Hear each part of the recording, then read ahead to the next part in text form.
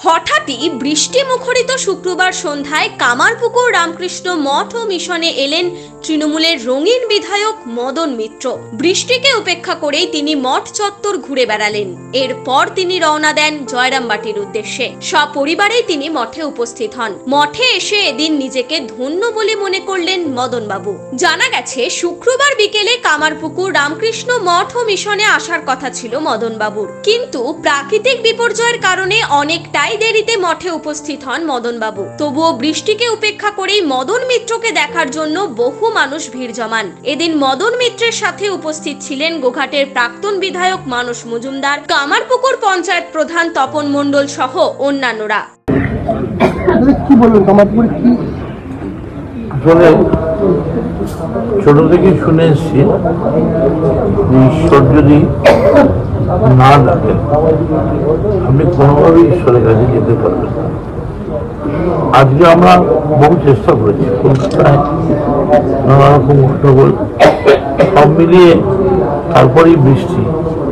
আমি নিশ্চিত হয়ে গিয়েছিলাম যে বোধহয় মন্দিরে আগুন আসবে না। এখন বোধহয় আর শয়ন হয়ে গেল কিন্তু আমি মহারাজদের প্রণাম জানাচ্ছি যে ঠাকুরের ইচ্ছে আমরা রঘুবীরের দর্শন পেয়ে গেলাম। আর রঘুবীর ঠাকুর যদি সঙ্গে থাকে তাহলে পৃথিবী আর প্রকৃতি যতই ভয় দেখা আর ততই বৃষ্টি কিচ্ছু জয় রাম কৃষ্ণ, জয় রাম। সার্থক হয়ে গেল জীবন। এরকম একটা দুর্যোগপূর্ণ মুহূর্তে আজ একদিকে কামারবাবু আর একদিকে মনের ইচ্ছা জয় রাম